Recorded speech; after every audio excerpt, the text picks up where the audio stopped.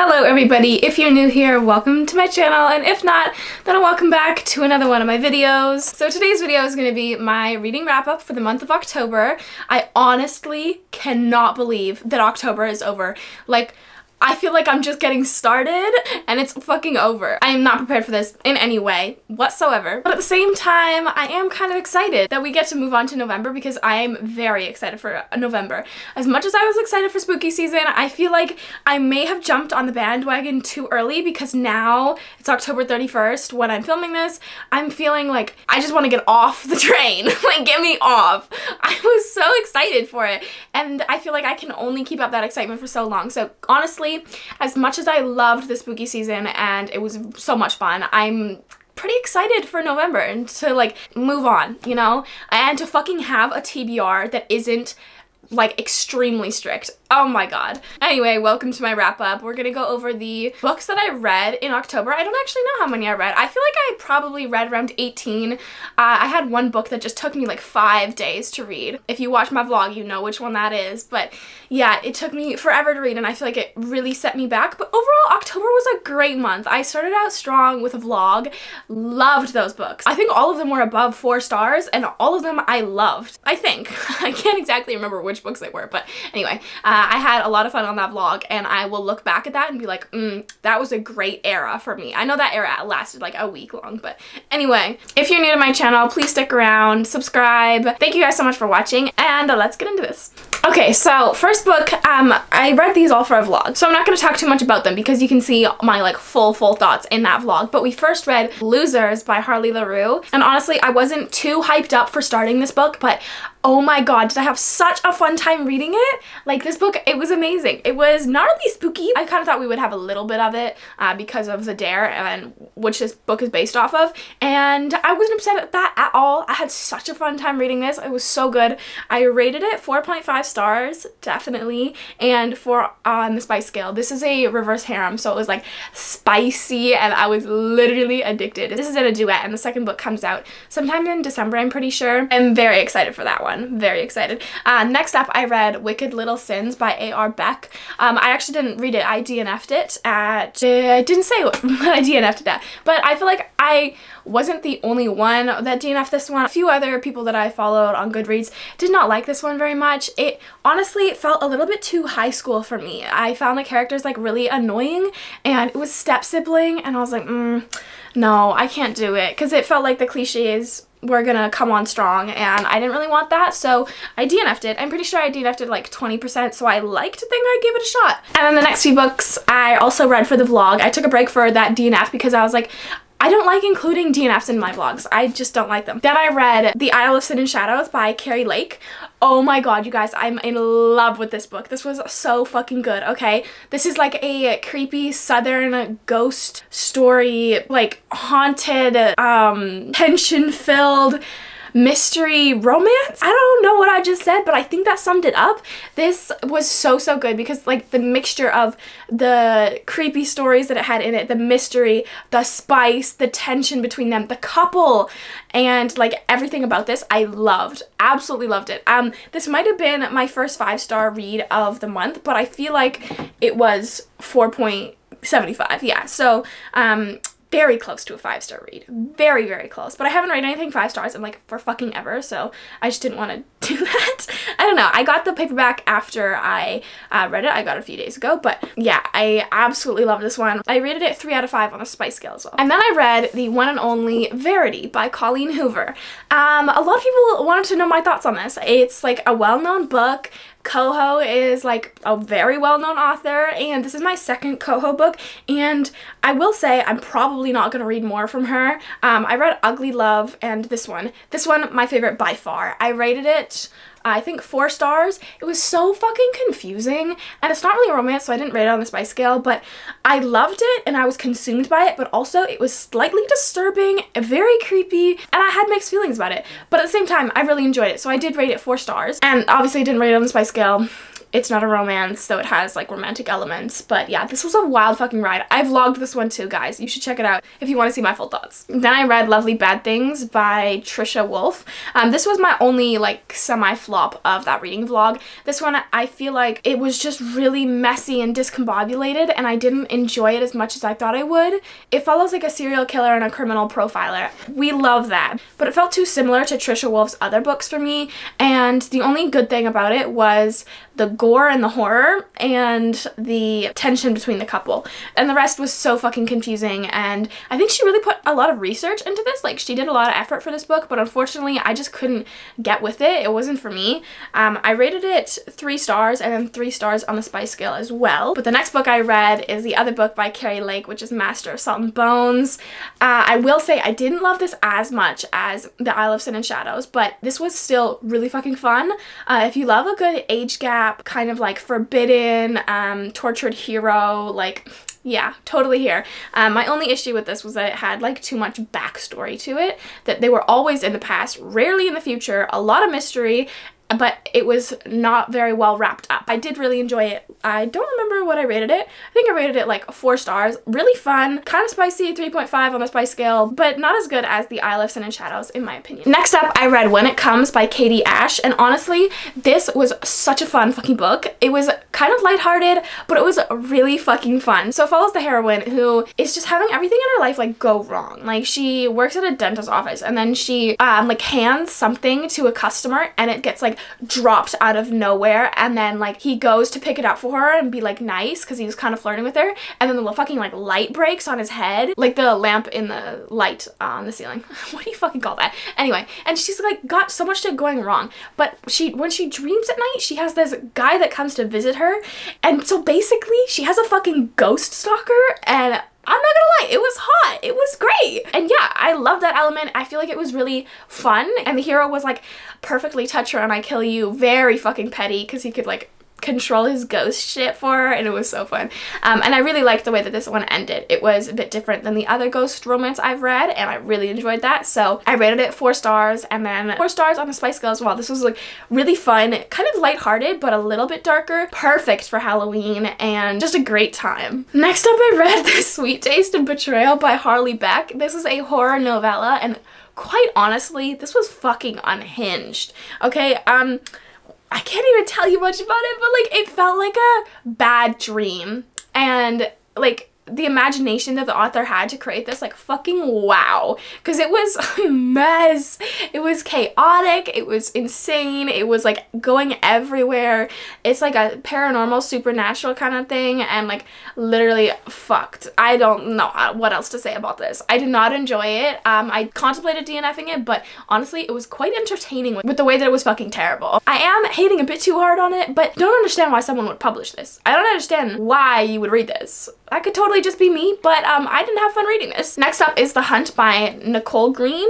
Yeah, I think I said that name right. Um, this is a kind of suspense book. It's reverse harem, and it was kind of like all the other reverse harems I've read. It wasn't very interesting. I wasn't a, like, kind of phase where I was really enjoying reading and I was devouring every book that I read. And I think it started with the um, the ghost romance that I'd read a bit before this one and I just was having a lot of fun reading. So I probably could have DNF'd this. I didn't.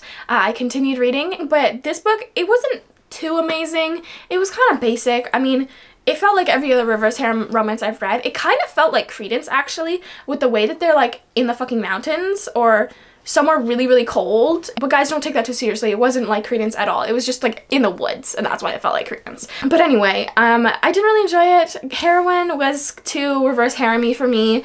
Um, the guys were cool, but like just this is just one of those three star books. I just had no connection to the characters um, and I did rate it three stars. And then I don't remember what I rated on the spice scale, but oh lord, here we go. Next one I read was Moto by M. Never. I just choked on my own air. Sorry. So I had wanted to read something that wasn't Halloweeny. I was feeling like we need to take a fucking break from this. So let me read something that's on my TBR that I was to get to in November. Uh, this was the one I picked. I actually picked two. The next one is coming. But this one is a motocross romance. And I had a week like last year I was more than a week maybe, where I was fucking obsessed with motocross. I had read a book by Shay Stahl that was thrown by Shay Stahl. It's a sports romance, one of the only sports romances I'll probably ever recommend. Loved it. I was obsessed. It's childhood friends to lovers, it's contemporary. He's a motocross racer, which is kind of like biking but like to the fucking extreme and like kind of fucking crazy. But oh my god i love that book so much. So when i saw this book um moto and i saw that it was a menage romance and it was motocross called fucking moto right? I was like I'm so pumped. And honestly, guys, it was a bit of a hot mess. So unfortunately, I was really, really disappointed in it. The next few parts of my review will have spoilers. So if you want to read this, um, would I recommend it? Probably not, but you know, you do you. This is my spoiler alert though. Okay, so I thought this was a menage romance. It was a fucking love triangle. And towards the end, the one brother got her for like 20%. And I was like, and she wasn't even missing the other fucking brother. And I was like, what? So it's not Menage? They were together, all three of them, for like 40%, mm, maybe 60. And then the one brother just got to keep her where while they didn't even fucking talk to the other brother, both of them. And then they came back and the other brother had this like terminal disease and was dying. And then he fucking died. Then the other brother like swooped in and took her. And I'm like, what the actual fuck? I never liked those. Like, I, I just don't. I don't know, and that's probably why I rated this book so low. I rated it three stars. Kind of deserved a two star, but I just, that fucking pissed me off. I did not like that. The next book I read is The Dark of You by S.M. Shade, and I don't have too much to say on this one, but what I do have to say will be filled with spoilers. So, spoiler alert. Um, if you want to know would I recommend it, probably not as well. So, spoilers.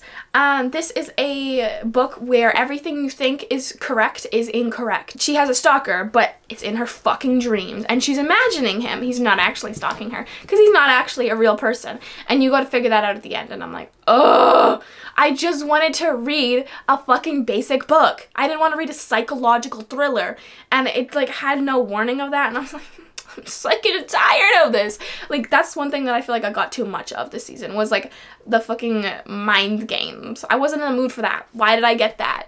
Um, I rated this uh, three stars because I actually did enjoy it, but then when the world got turned upside down and everything was a lie, I was like, I'm done. Okay, next three I read were for a vlog, and that was my last vlog, last video on the channel. Um, the first one is Prelude by Auden Dar, I'm pretty sure it is. This one was a fucking hot mess. This was terrible. I loved, like absolutely loved the blurb about this. I was like, this is my fucking book. This is gonna be amazing. And it wasn't. It was kind of crazy. Uh, the heroine was obsessed with sex. Obsessed with the hero. And it was literally all that she thought about. And I was like, girl, get a fucking life. Respectfully, she had no other thought on her mind. And I'm like, what? I can't do it with heroines like that. I just could not, especially with her. Like 80% of the book was dedicated to her thinking about them fucking and they didn't even fuck till 90%. And I was like, I cannot. Why didn't I DNF this? Because I was vlogging. And I feel like if I DNF that, I should have picked a whole new fucking book so that I had three books for the vlog. But I didn't want to, so I finished it. I wouldn't recommend it, but uh, the cover is really pretty. Then I read The Controversial Princess by Jodi Ellen Malpas. And I said this in my vlog. I'd heard lots about Jodi Ellen Malpas before. It always feels like a fucking mouthful to say her name, but I had heard lots about her before, uh, about her Mafia series specifically, or maybe standalone, I don't know. And I was like, this one sounds really good. It sounds like there's so much tension in it. It sounds like something I want to read. So I picked it up and I fucking loved it, guys. My full thoughts are in that vlog, but I rated it five stars. My first five star read in a very long time. I might be lying, actually. It might have been 4.75. But anyway, I loved this book so much. The tension, the banter, the chemistry, the sex, it was all 10 out of 10. And yeah, I loved it. And then the next book in the duet, I didn't read for that vlog, but I was just so consumed by this couple that I fucking stopped my vlog plans just so I could finish this. And the other one in the duet is called His True Queen, I think. This one, I didn't love it as much as the first one. I feel like it took a direction that I didn't really want to see, which kind of sucked. I did read it and I rated it four stars, which is a pretty high rating based on like my thoughts on it. But I did that because uh, I really loved the couple. Their banter was still there and their chemistry was still there, but it was just like so much back and forth and the plot took a direction I didn't like. So yeah, didn't love it as much as the first one, but still loved it. Four out of five stars and then probably like 3.75 on the spice scale. And then I read Fairy Tale by Veronica Lancet, and this was a very anticipated read for like all of you guys. I was looking forward to it, but then I procrastinated it and I didn't want to read it and I read it anyway for a vlog. My full thoughts are in there. They're like pretty deep thoughts because I knew everybody was really wanting to see this, but uh, unfortunately I didn't love it as much as I feel like I could have. Uh, I rated it like 3.75 stars, sometimes 4 stars. I felt like it was too long and some of the plot twists in there I was just like, mm, no. So yeah, I didn't love it as much as I could have. Rated it 3.75 stars and then like 2.5 on the spice scale because this is my first like semi-historical romance and y'all they ain't that spicy. At least this one wasn't. Lastly, I read Blood Orange by Karina Halle, and I read a bit of this book uh, for my reading sprints that I did yesterday. It happened on October 30th, and this was pretty good. First bit that I had read during my sprints, I was loving, and I gave a little bit about what I was reading um, during that live, but the first bit was so good. I loved Dracula. The heroine was growing on me a little bit. I feel like she was kind of eh to me, but the last bit, oh my goodness, I don't know where the plot went. I feel like it just went in a totally opposite direction than what I wanted and maybe it was just my expectations but I was expecting something totally different for this book. I feel like so many people hyped it up like people are saying this is the best book they've read all year and to me that's not true. Like, I didn't love this as much as I wanted to. Uh, I will still read the second book in the duet, but yeah, it kind of let me down a little bit. Don't know if that was because I had too high expectations for it, but the last bit was like not it. I didn't love that. Okay, everybody, that is actually the end of the video. It feels like this was a really short video. My wrap-ups are usually much longer than this, but I read 16 books, so not too, too bad. I was kind of expecting more, but that's fine. Anyway, I have one more spooky season video coming at y'all, and then we're gonna move on to the November content. What the fuck? I really hope that spooky season on my channel was everything you guys were expecting, maybe more.